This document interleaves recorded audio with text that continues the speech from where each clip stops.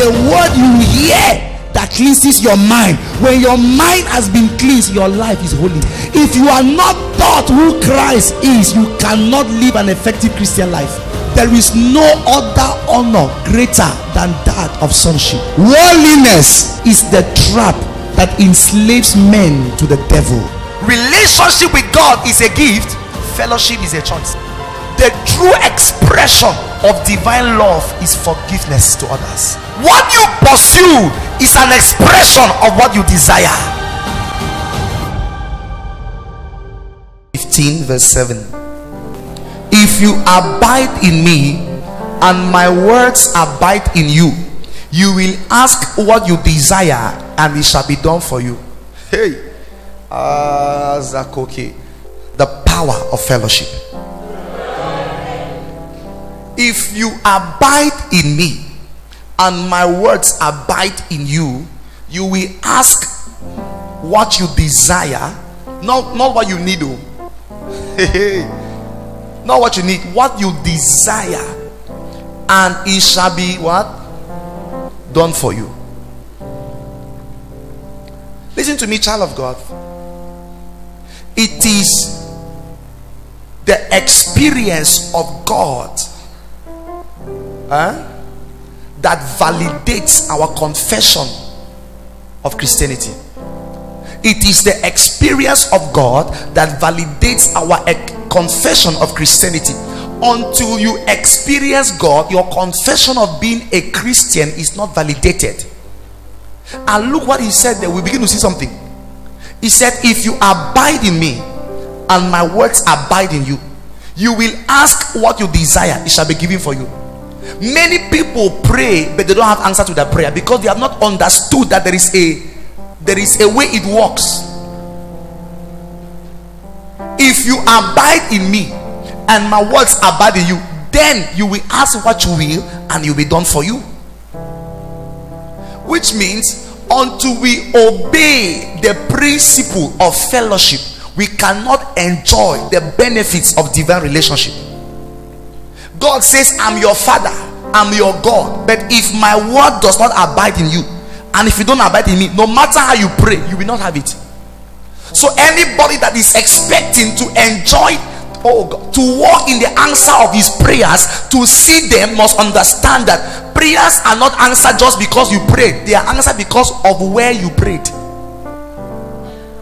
The place where you pray from, I'm not speaking of physical place, spiritual position.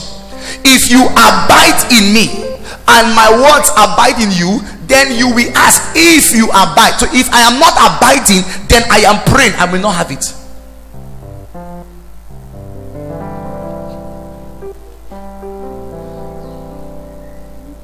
Those who abide in the secret place have access to the deep things of God and will ex- enjoy the treasures of God. Those who abide, if you abide in me, he said, He that dwelleth in the secret place of the Most High. The secret place is not physical, it's a place of fellowship. Are you with me now? If you abide in me. So many of us want to enjoy God. God says, Okay, I, I love it, but you must abide. You must abide. Tell somebody, abide. He didn't say, If you visit me, he said, If you abide. If you study scripture well, in the garden of eden when god kept adam when adam sinned bible says in genesis chapter 3 from verse 5 he said and god came at the cool of the day. The bible specifies a time. God came and god said adam where are you? Now god knows everything true of us and god sees everything. When god said adam where are you? It's not that god did not know where adam is adam was missing at the place of encounter are you following me here? The secret place is our place of encounter with God through fellowship. So God came to the time of fellowship. So it was not like a particular physical place. But when God showed himself in the realm of the spirit, Adam was not there because he had sinned and fell from the place. So God said, Where are you? There is a question God is asking most of us Where are you? Adam was a child of God, but he was absent in the place God kept him, the place of fellowship. There is a place where you meet God. If you are absent in that place, you can't see God no matter how you pray. So your experience of God does not just depend on divine relationship, it depends on your commitment to fellowship. Adam, where are you? What a question. And Adam responded, I hid myself. God laughs. You are not in the place of fellowship. There are many of us, we are no longer in the place of fellowship. And don't forget this that Allah Adam fell and lost fellowship. He could no longer hear. He lost all the treasures, the glory because of sin. You must be very careful, child of God people that understand the value of their fellowship with God will not give themselves to anything threatening that fellowship. When you understand the value of your relationship with God, you will not give yourself to anything threatening your fellowship with God. Because when fellowship is broken, relationship will be severed. For example, a man who understands the value of his wife does not play around with other girls. I mean, as he does not sleep around, he does not even try to play with them because that playing with them can lead to something else. He does not even joke with them because he understands that this person can threaten your marriage. Same thing when you understand the value of your relationship with God there are certain things you cannot sit in a kind of place because you understand sitting here can push me to do something that will break fellowship. People who live anyhow, talk anyhow, act anyhow, are people who don't understand the value of their relationship with God. They don't know it. So they can talk anyhow. They can afford not to forgive. When you understand the value of divine relationship, you don't struggle to forgive people because you know unforgiveness it becomes a hindrance of a man accessing the place of fellowship with God. When there is unforgiveness in your heart, bitterness, worry, anger, pride, it becomes a hindrance from you experiencing God. When you know how important God is to you, you will not allow bitterness, pride, even worry enter your heart. When a man begins to worry, even if God stand before him, you will not see God. As you start worrying, the next thing God will say is, Kevin, where are you? Because if I am standing in the place of the spirit with God, I'm standing with God. As I begin to worry, I step from the spiritual realm, I enter the carnal realm, the physical realm. So, worry is as dangerous as fornication. Adam did not fornicate, he, he ate a fruit. Worry is dangerous. Why? because it is the state of your heart that qualifies you to have access to the place of fellowship. Your heart. So it is not a room. The secret place is not a room. It's not a prayer room where you go there you sweep it you clean it.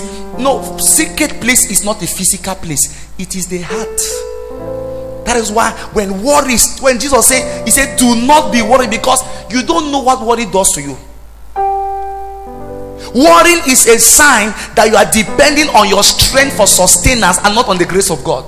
Because if you depend, eh, eh, no, worry means how will I do to come out of this issue? How can I overcome what I'm going through? That is worry. But a person that understands grace, he understands that physically I am weak, physically I lack, but because of his grace, I am strong because of his grace i am rich. Because of his grace i am healthy. But when you don't understand that you begin to worry because worry means you are looking at yourself by the eyes of the flesh. Because when you see yourself in the eyes of the flesh you will see your weakness. When you see yourself in the eyes of the spirit you will see the strength of god in you. When you look at the flesh you look at your family. Women women don't marry. The ones that marry they divorce that's the eyes of the flesh. But when you look at yourself in the eyes of the spirit, you are more than a conqueror. You are the lights of the world. You are an overcomer. You are the salt of the earth. The doctor gives you a medical report. In the eyes of the flesh, there is fibroid in the womb. In the eyes of the flesh, there is a sickness in your blood. But in the eyes of the spirit, he said, It became a curse that we should be blessed. By his stripes, you are healed. So when you see yourself in the eyes of the flesh, you begin to worry. How will I do? That's what Jesus. He said, "Yeah, do not worry what you will eat." He said, "Look at the birds." Your father feeds them. He said, You are more valuable than a bird. Will he not also feed you? So there is no animal. The reason why animals never starve is because animals don't worry for food. Because immediately you start worrying, you are telling God, Leave me to take charge of my life myself. Don't worry. But your worries depend how you see yourself. So you have worries, you have bitterness, you have stuffs of your heart. All these things, listen to me.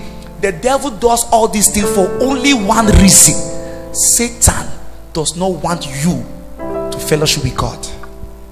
The devil is not threatened by the anointing because he himself is anointed. They call him the anointed cherub. Have you not seen false prophets do miracles? They do it by which power? On this earth, there are many powers. Oh, just know that there is the power of God, there is also the power of Satan. He said, I give you authority and power to trample on serpents and scorpions and overcome all the power of Satan. So Satan has power. He's not threatened by the anointing, but the devil is threatened by your fellowship. Because there is something fellowship does. you know why? Fellowship is intercourse if a one time a man and a woman got married and for five years they had for about three years they had no child.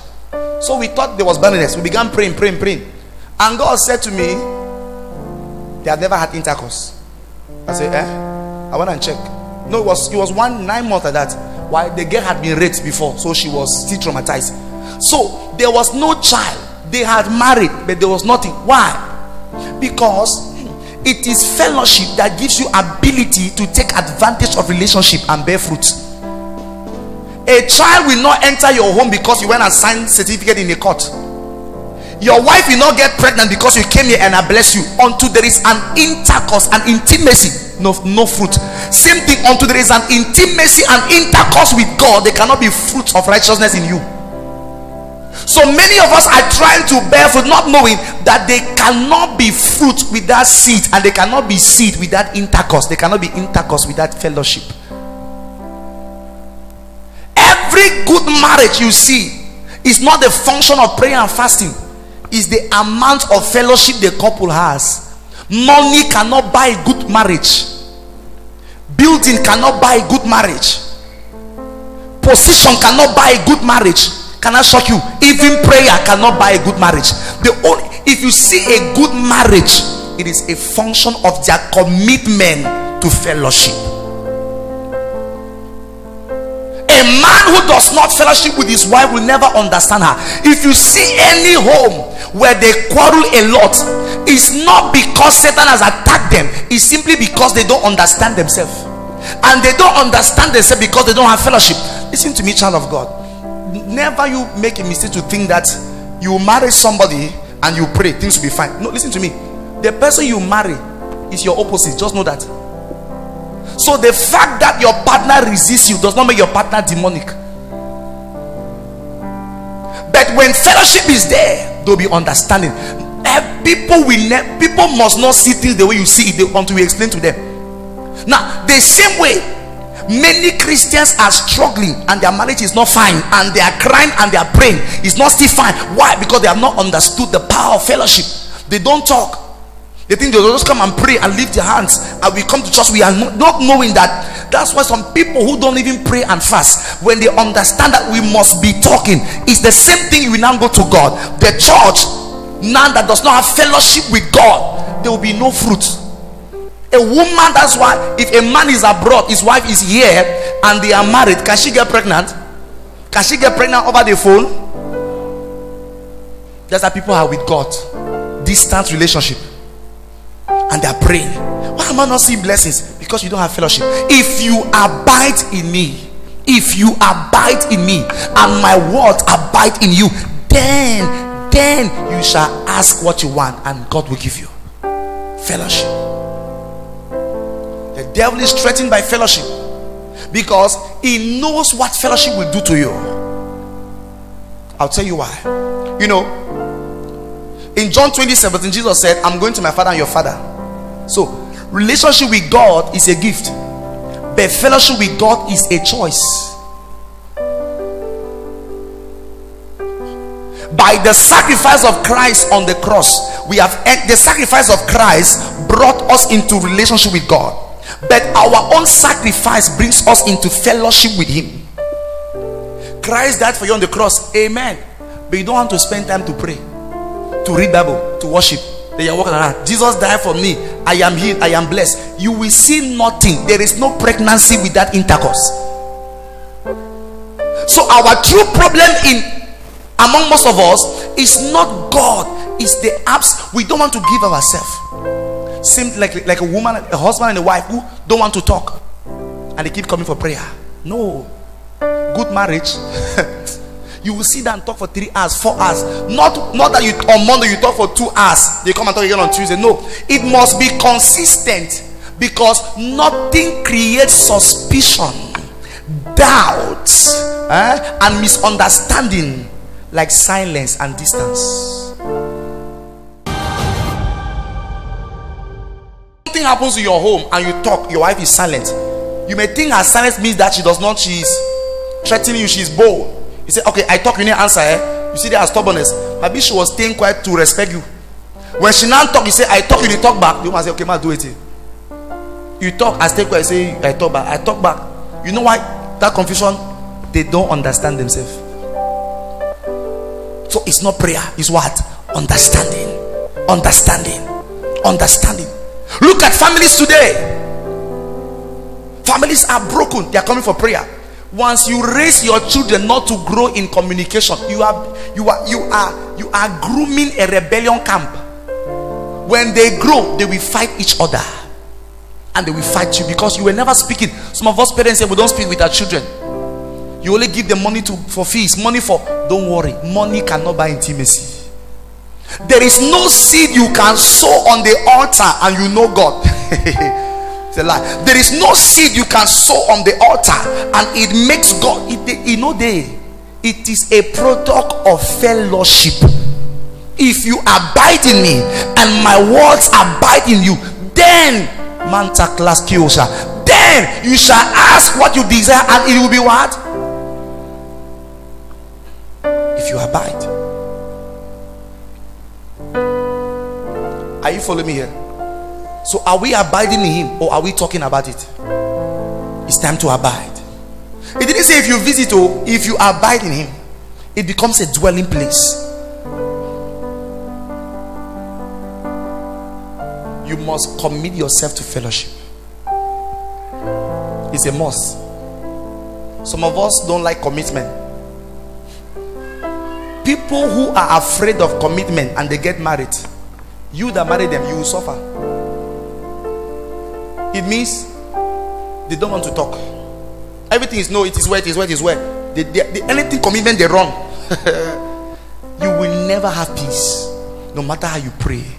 Because intimacy and understanding is not a fruit of how much money is spent in a marriage. It's a fruit of how much time is spent together same thing with God. Intimacy with God is not a fruit of how you sweep in church. It's not a fruit of how you I preach. It has nothing. It's a fruit of how much time I spend with Yahweh. So you can come here and sweep the church and dry clean every day, yet you don't know God because you are not spending time with Him. You are working for Him, but you are not walking with Him.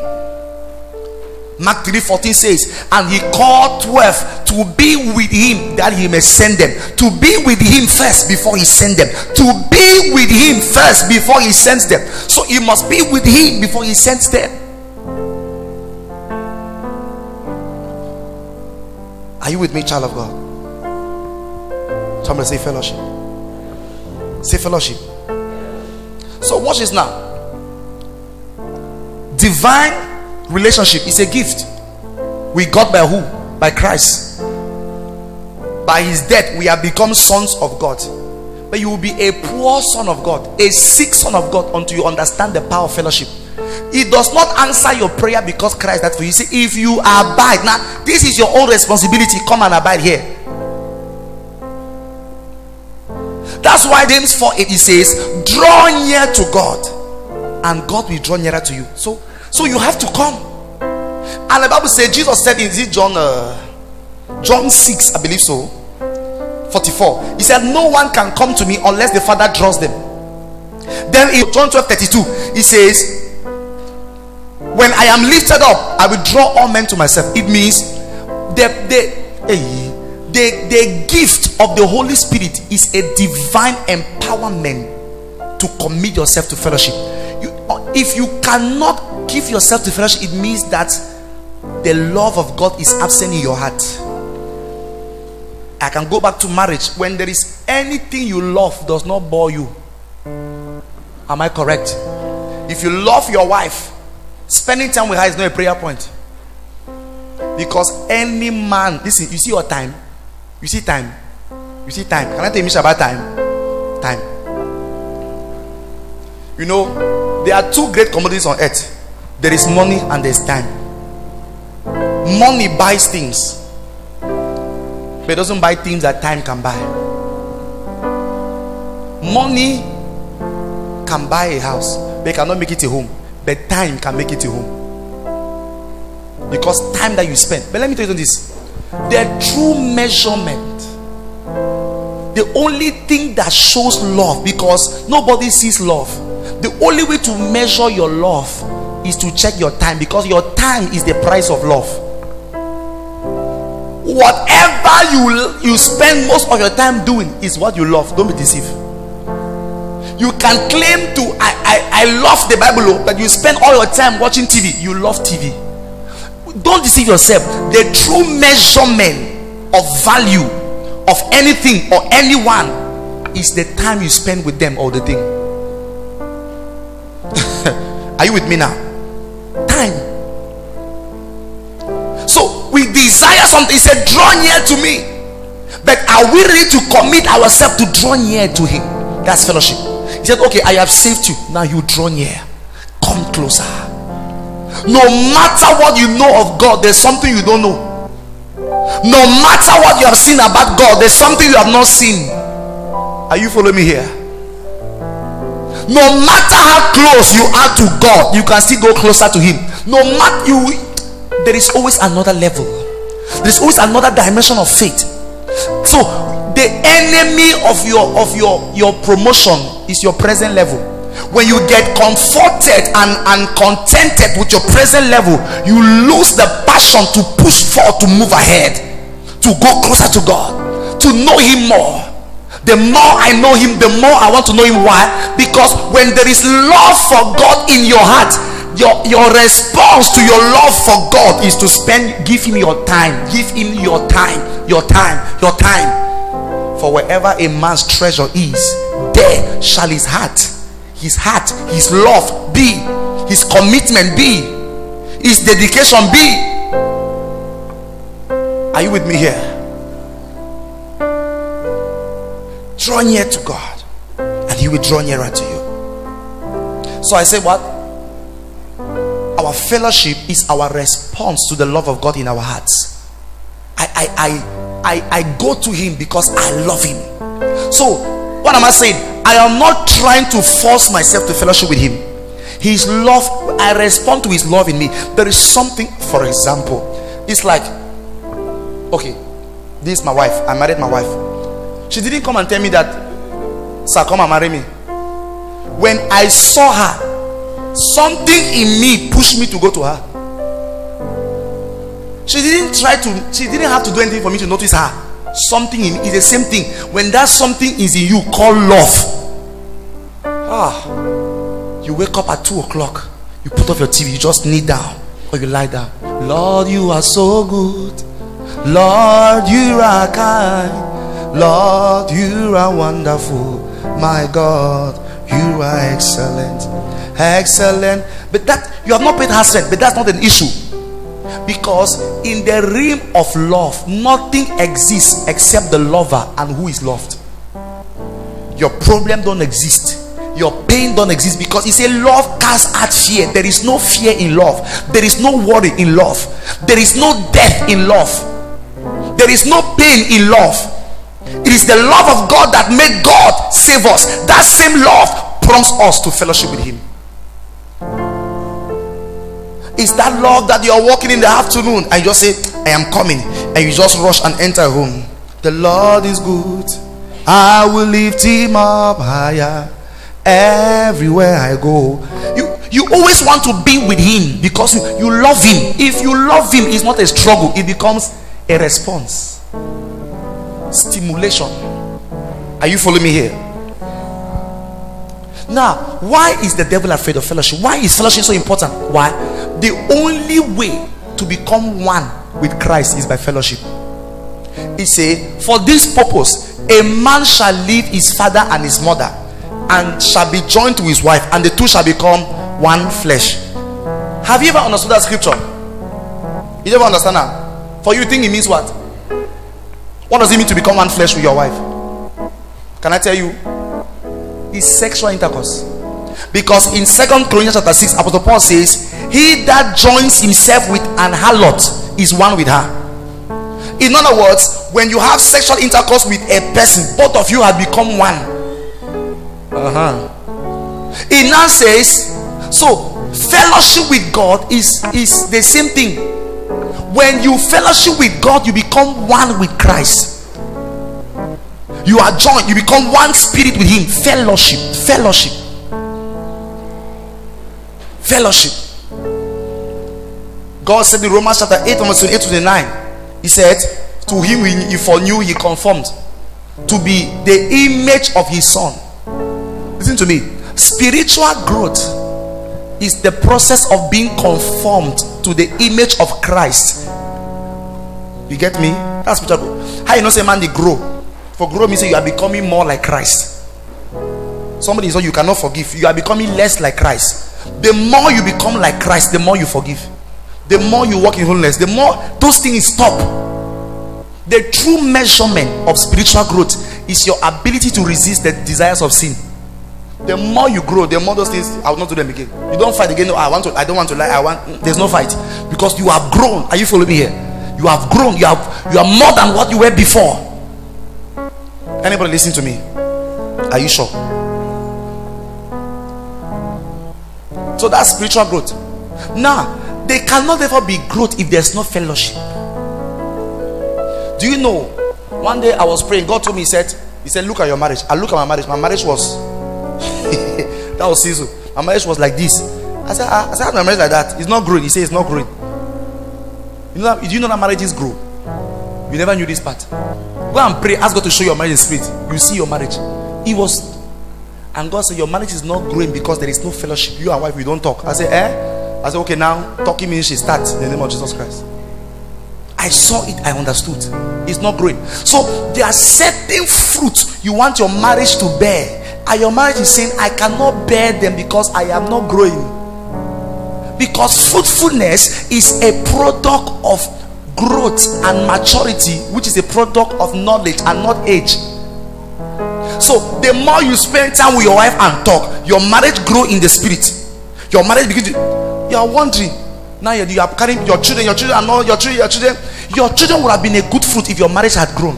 But your marriage did not grow for 20 years your marriage is still one month in the spirit it has not grown why because it is not it is only fellowship oneness it grow one is because in the realm of the spirit, my marriage, I saw it in the spirit. I saw a being. The being at the same time had my face, had my wife's face. And God said, That's your marriage. It was a, a being like a tree. But when you look at it, you see me, you see my wife, and we were one inside. I was not alone, and he was not growing. So it is possible for me to grow spiritually. And my marriage is not growing. But I have grown. Because for my marriage to grow, me and my wife, we must come together. For therefore same thing for you to grow spiritually you and christ must agree. The desire of god is that we should be one. John 17 i believe verse 20 jesus said that they may be one as we are one one in us. 17 21 so fellowship brings what? Oneness with christ gives you the mind of christ. You become like him. You think like him. Come on somebody. You talk like him. You act like him. You walk like him. You cannot live the life of christ if you don't have the mind of christ. And you can only have the mind of christ by talking with him. Because you know you always say can't make i tell you my mind. So you cannot know somebody's mind until the person talk to you. Not talk to you talk with you because it's talking to and with. Fellowship is talking with, not to. That is the difference between prayer and fellowship. In prayer, Lord, give me a job. Lord, give me a child. In fellowship, Lord, what is your will? Lord, what do you say? Lord, I, I want to travel abroad. Should I go? But in prayer, give me a visa. Give me a visa. Give me, give me. You are talking to. But in fellowship, you have to talk. He has to talk. Both of you must talk. Same thing like in marriage again. If there's a marriage and only one person is talking, that marriage will crash.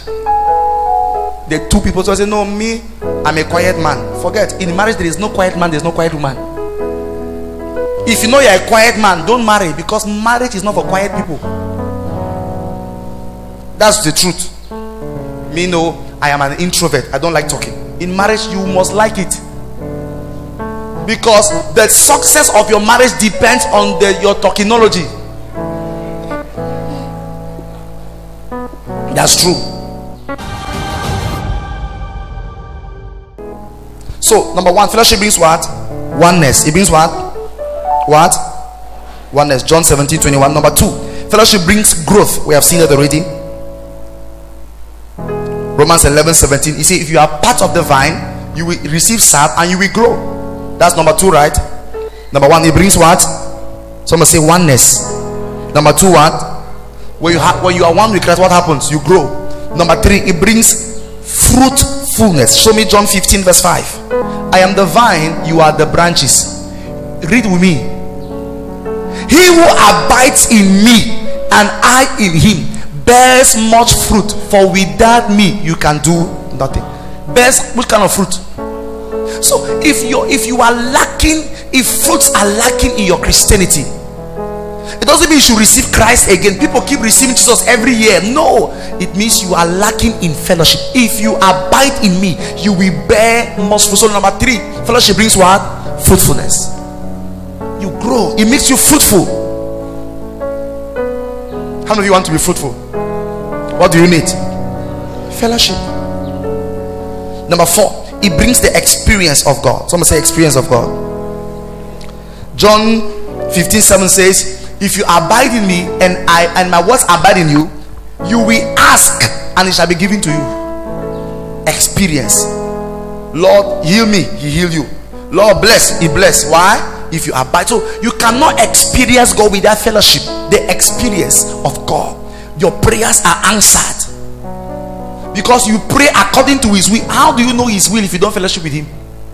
You'll be praying your mind pray your idea, pray your thinking, but in the place of fellowship, you have access to pray as He wants, as He desires for you. Hallelujah. Glory be to God. Thomas say experience of God. Number how many? Number five. It gives you access to the deep things of God. First Corinthians 2, verse 9 to 11. Said, The things that I have not seen, ear has not heard, God has revealed to us by His Spirit. The deep things. A person who has fellowship in God does not walk in blindness. He is not confused because as you fellowship, you receive divine direction.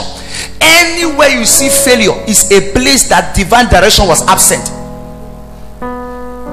Because if God is leading you, He may lead you round, He cannot lead you wrong. You may pass through issue, but you cannot end there.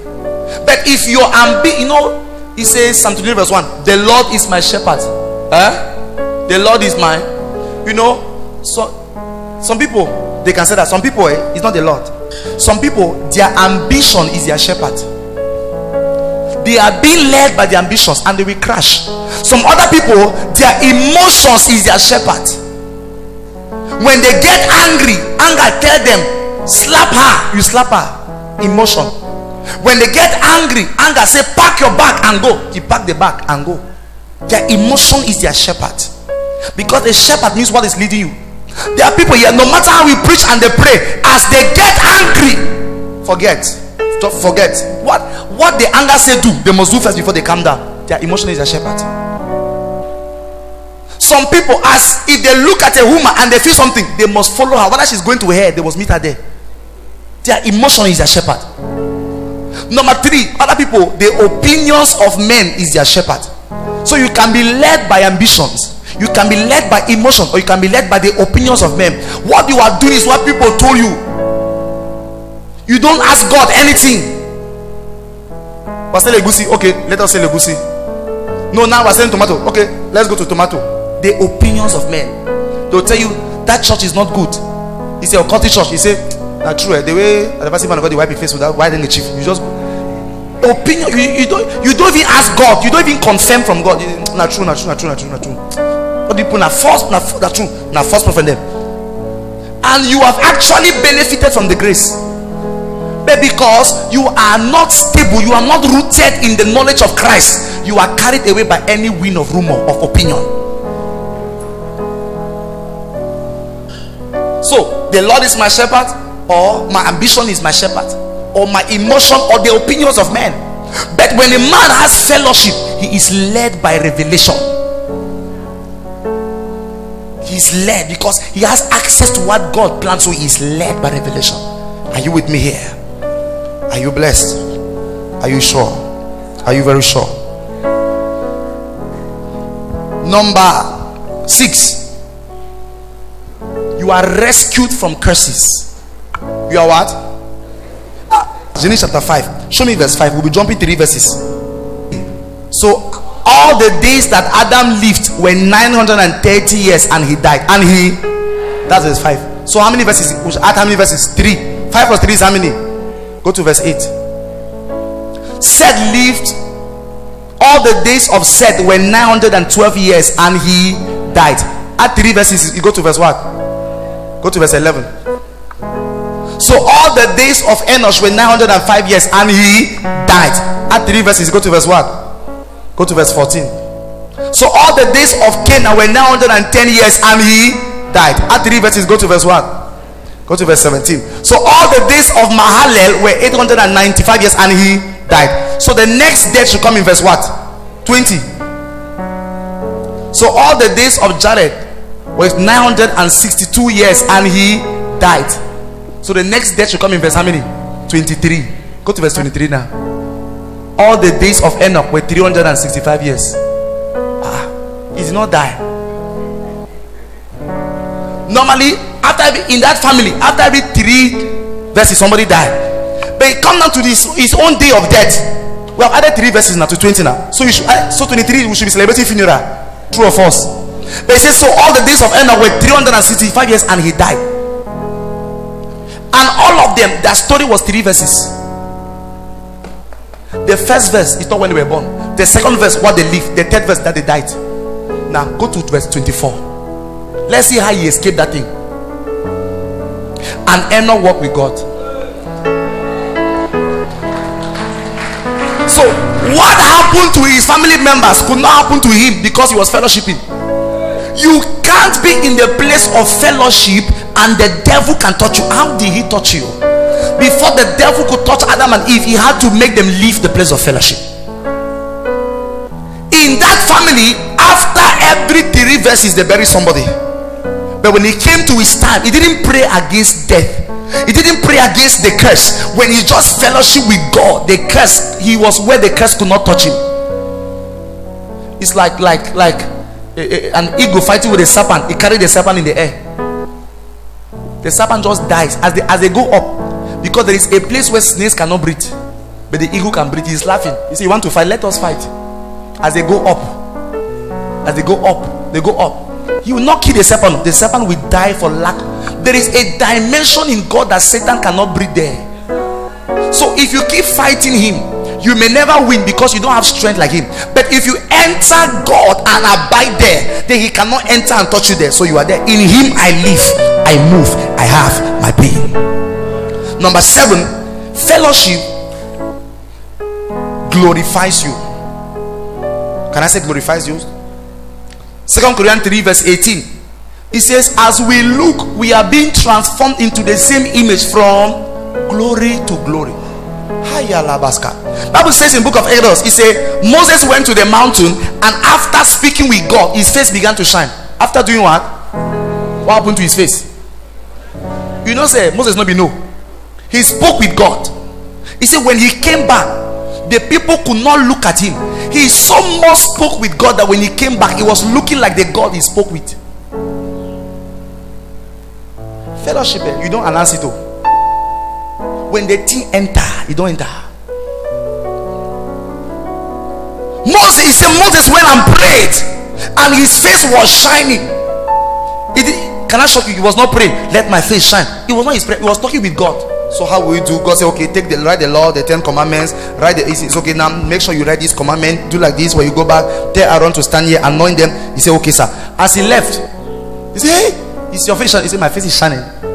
He didn't know. What happened? By speaking with God, he began to reflect him. I told you about oneness. When people see you, they don't see weakness, they see glory.